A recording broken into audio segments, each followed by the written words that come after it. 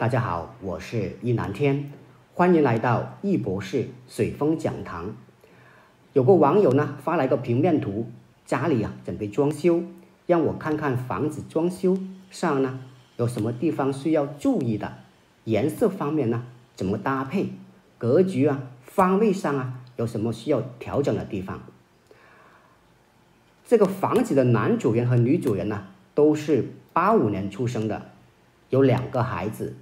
一个呢是一四年出生，另外一个呢是去年二零二零年出生。我们先来看一下平面图。这个平面图，我们可以看阳台呢是朝南的，整个房子的坐向呢是坐子。如果你想找易南天老师一对一深入交流，加微信七七五五幺七五三六项目，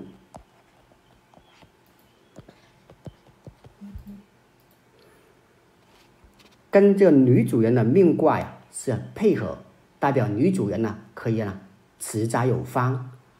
缺角的方面呢，不是特别的严严重，有那么一点。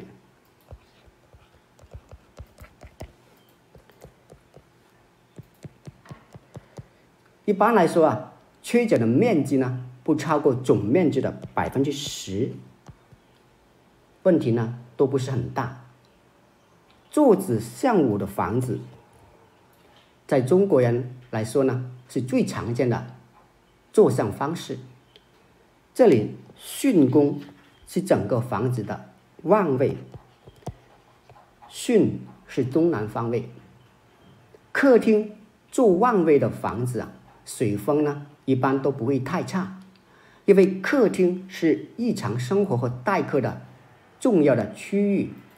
客厅在旺位，可以旺丁旺财，兼有名声地位。整个房子的色调呢，以浅色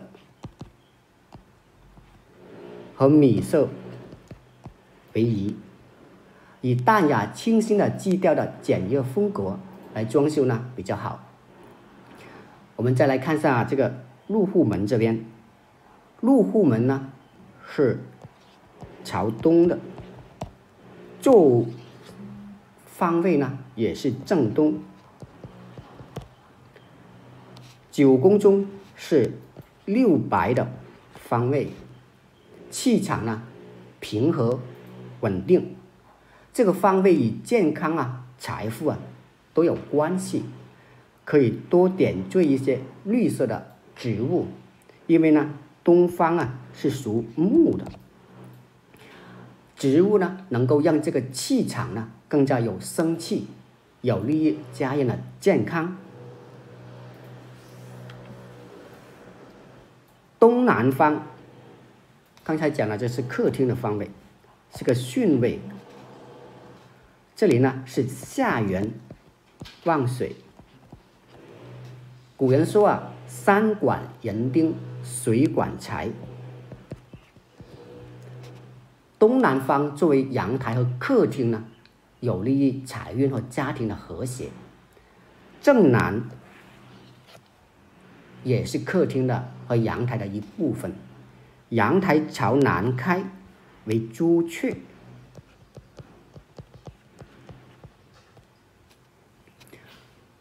最大的好处啊，有利于生活的平稳，有利于这个财运和家庭的和谐。阳阳台呢，可以多放置些植物，比如红花呀，还有。绿色的盆栽能够达到声望的效果。南方离卦属火，代表着名誉和地位。放置红花可以增强这个运势，有助于得到好的名声。客厅的色调啊，应该以宁静、冷静的色彩为宜，不宜太过鲜艳。装修时呢，以白色呀。米色为主，灰色呢为辅。客厅放置的沙发的吉位呢，在东方、东南和北方都可以。东方放置一个大的沙发，是一个非常好的摆设方案。正南方啊，在九宫里面呢，是八八同宫，双星聚会。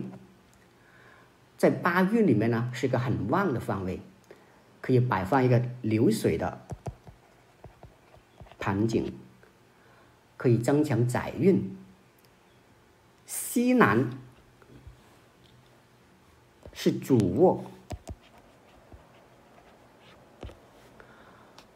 这个方位呢是家里的暗财位。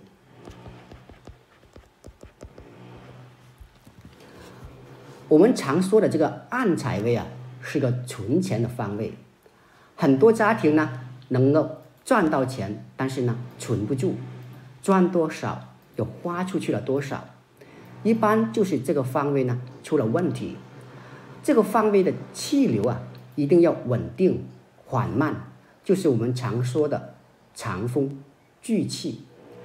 这个方位呢，不需要太大的落地窗，或者呢。全景飘窗这些，坤位啊，还代表着女主人，属土。装修的时候呢，可以多用黄色、土色、棕色和其他玫瑰色、暖色调这种五行属土的颜色，可以增强安定的能量，使得夫妻同心，有助于增进家庭的财运。另外呢，老师有个建议啊，就是。这个主卧的这个床啊，最好呢，像这个西南的对角线呢，稍微挪一下，尽量睡在对角线上的这个暗财位上，这样会更好。正西方是个六一同宫的小财位，小吉位。厨房呢，位于这个方位上面。厨房这个方位对于作为厨房啊，对于二水的人来讲呢，最为合适；对于忌水的人来讲呢，就不是特别好了。二水，二水人呢特别合适。西北，我们再来看一下西北。西北呢是一个书房。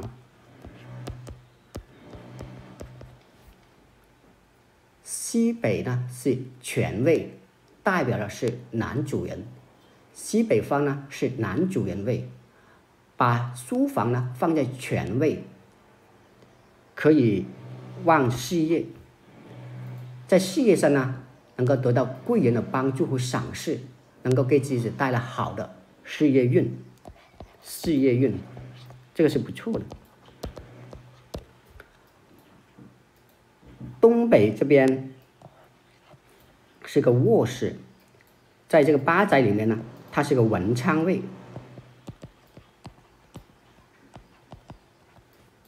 适合孩子的卧室使用。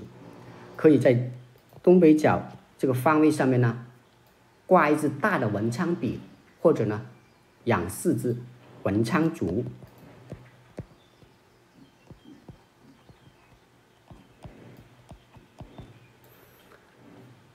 有利于孩子的学习啊。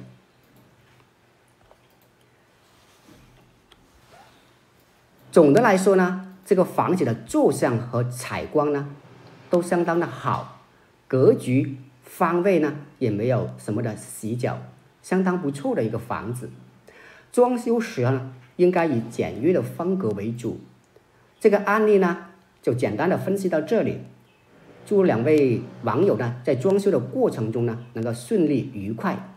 如果大家在，如果你想找易南天老师一对一深入交流，加微信七七五五幺七五三六。